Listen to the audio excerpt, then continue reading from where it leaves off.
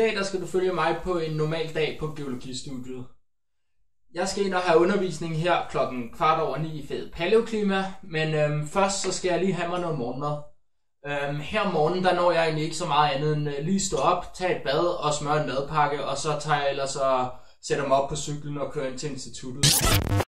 Hej, klokken den er ved at være lidt i 9, og jeg er lige ankommet her til Institut for Geovidenskab og Naturforvaltning, som ligger på Østervoldgade 10.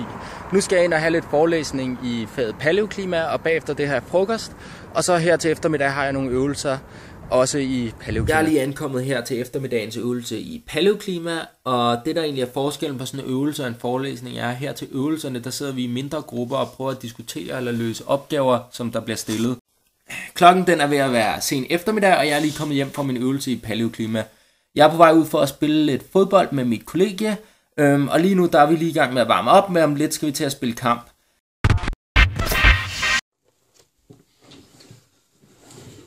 Hej, klokken den er ved at være kvart over ni, og jeg skal til at gå i gang med min aftenlæsning. Her til aften der vil jeg læse lidt i det andet fag, jeg her har, som hedder Miljøgeokemi. Det er sådan set et geograffag, men det er ret anvendeligt for mange geologer. Øhm, og vi har den her bog, som hedder Pedological Biogeochemistry, og i dag der skal jeg læse kapitel 6, som handler om forvidring. Så det glæder jeg mig meget til.